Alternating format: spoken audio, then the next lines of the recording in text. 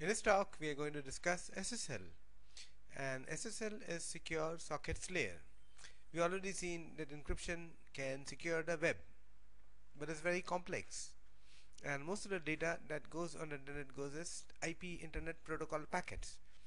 Internet protocol packets are letters and TCP numbers them sequentially 1 to 3 so that and the TCP is a protocol on top of IP so you get TCP IP protocol but the data in TCP IP is not encrypted so anyone can read it. So if you use SSL secure socket layer, layer on top of TCP IP which will uh, encrypt the data uh, using public key infrastructure and use TCP IP to exchange data so that nobody can tamper or see your data on the internet. So let's look at SSL so you're on your browser Alice and she wants to talk to a server say google.com so how do they start? First Alice finds out Google's address using DNS. Then she sends a packet to Google saying hey let's start a SSL connection. So how does she know it's really Google it's not a fake site? So Google sends a certificate. Here's my uh, certificate. So what does Alice do? She first checks that it's signed by somebody she knows. For example, when you look at ID card, you know, signed by somebody that is you trust and if it's not there's a chain of trust that she'll examine till she finds she trusts the, the master certificate that is signed the Google certificate.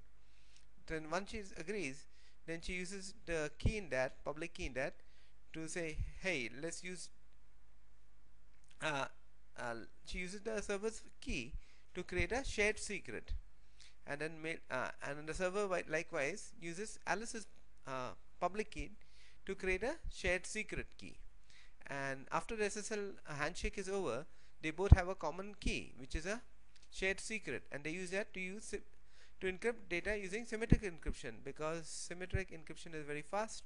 And then on the data ex is exchanged using symmetric encryption over TCP IP so SSL is a he heavy duty protocol that basically allows them to validate the server server and the client is the client who Alice claims to be if, if server wants to check uh, identity and and allows him to share us a secret a password that they will use for communication.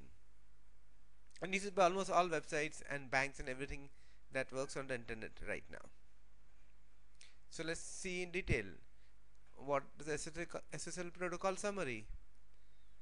So your browser basically connects to your remote server and then you handshake and you exchange your public keys and the certificate information and you check that the certificate is not expired and is signed by somebody a trusted certificate authority.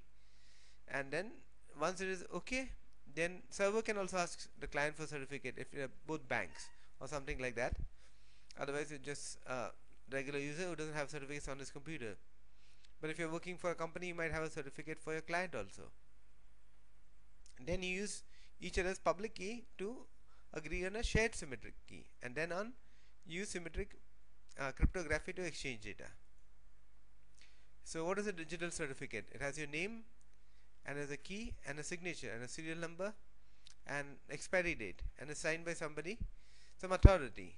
And there are many companies which sign and they are and uh, the ultimate authority of that key, the company's key is signed and installed in your in your on your computer.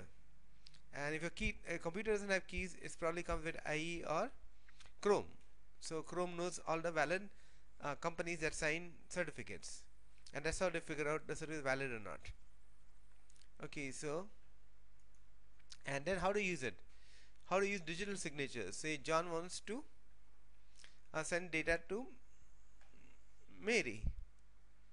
So John uses his digital signature to email uh, his private key and then sends the email to Mary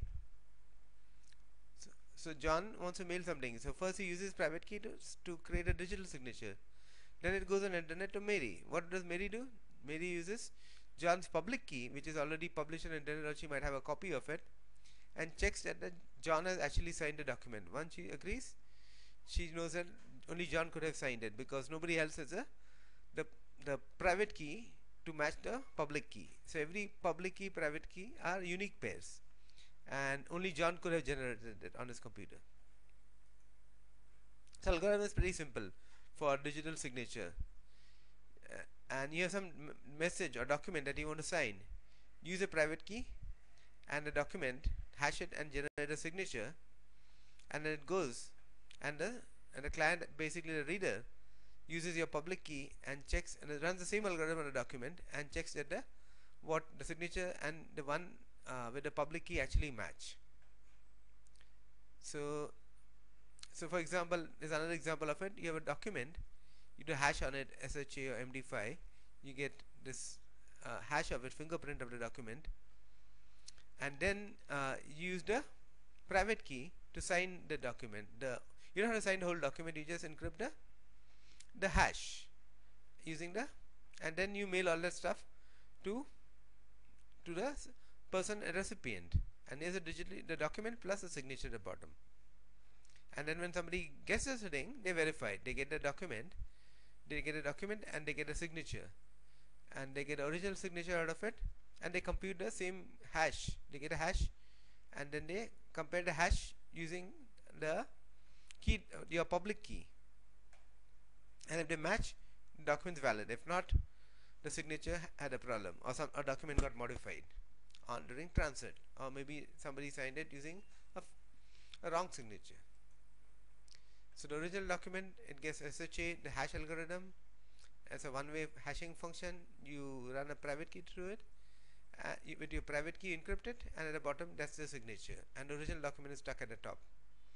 And when the, the other person receives it will only use your public key to open the signature and check the, and then compute the same hash of the original document and compare the, the, the signed with the original to make sure that nothing has been tampered. Okay that's it for now